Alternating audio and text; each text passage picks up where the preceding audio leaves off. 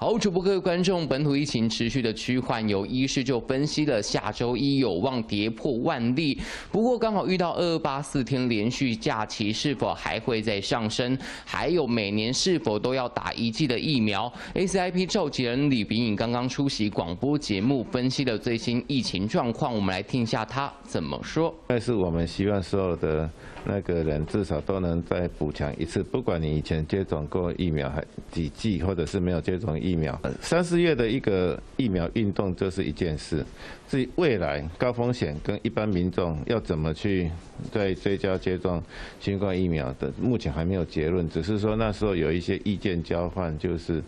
原则上我们可能是高风险的族群，包括有慢性疾病或者是老人家，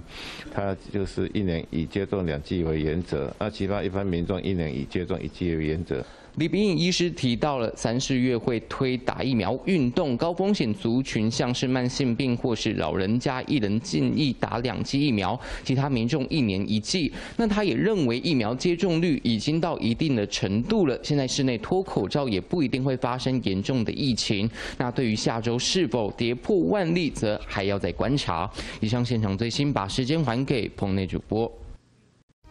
我是陈志根。从踩在风灾的坍方断桥，到卫星云图背后的天气预报，棚内棚外的采访播报经验持续冲击火花，督促我报道真相。更多新闻请锁定中视 YouTube 频道，记得按赞、订阅、分享，并且开启小铃铛哦。